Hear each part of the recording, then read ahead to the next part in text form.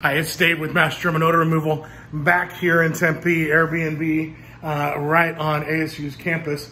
Want to give you the final walkthrough, show you what we, how we have left everything. I know that the uh, cleaning crew will come through. There's laundry and all that to be done, but all the windows are now back open. You have a, um, a little hidden uh, plug-in that lives down there. That is back. That gives off a ton of VOCs. Those are um, not my favorite thing at all. So I left it outside the door. I don't want those in the car with me because they just are, are so, um, so, it's just so much, you know, they're over the top. They are extra. So, uh, everything is uh, closed up. I have the spice rack back where it goes. The, um, the little honey pot on top of the counter or on top of the cabinet is still there. Um, everything's closed back up.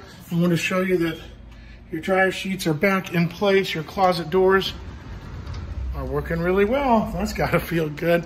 Um, I'm gonna turn off these lights. And then in the uh, secondary bedroom, I left um, everything as, oh, I didn't do the window. Hold on. Hold on. All right. There's a little more light in there. Um, I did leave, I, I put the fan back on medium but I turn the light off just so we can keep moving air. Um, the smoke alarms are chirping. I, you know, I, I, I, take them down and I pull the battery out. Um, so we don't use the battery. They're just, uh, those are the original batteries. So the bedrooms have original batteries.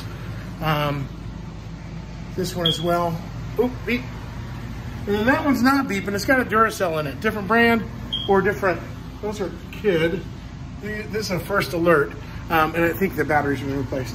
I put the air conditioning back down to 61, 62. That's where it always seems to be when I'm here. Not always, I mean, I've been here a couple times. Um, of course, this bathroom looks uh, as um, great as it always does.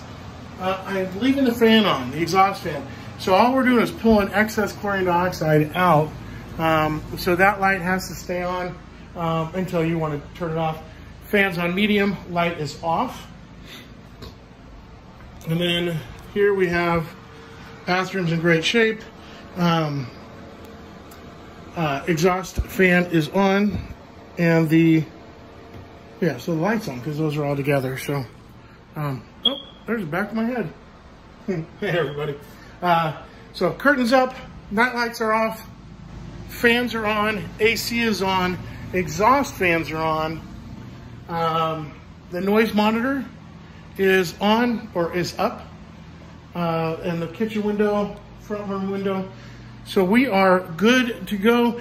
Thank you for having me. These extreme, um, you had some, some, you know, pretty significant weed odors.